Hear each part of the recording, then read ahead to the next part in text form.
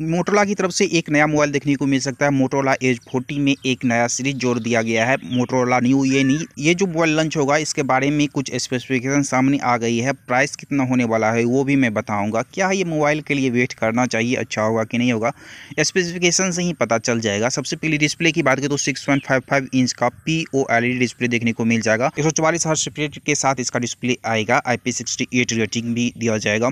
Operating system की बात करें तो एंड्रॉइड थर्टीन पे रन करेगा तो ऑब्वियसली ये इसका क्लीन ऑपरेटिंग सिस्टम आता है।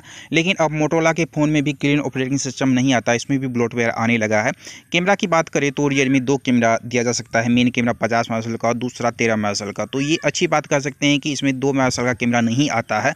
मोटोला की ये खास बात है और फ्रंट में बत्तीस मेगापिक्सल का कैमरा देखने को मिल सकता है। पाँच हज़ार की बैटरी दिया जा सकता है, ऐसी लिख से पता चल है। लेकिन इसमें चार्जर कितना वाट का दिया जाएगा, इसके बारे में कुछ जानकारी नहीं आई है।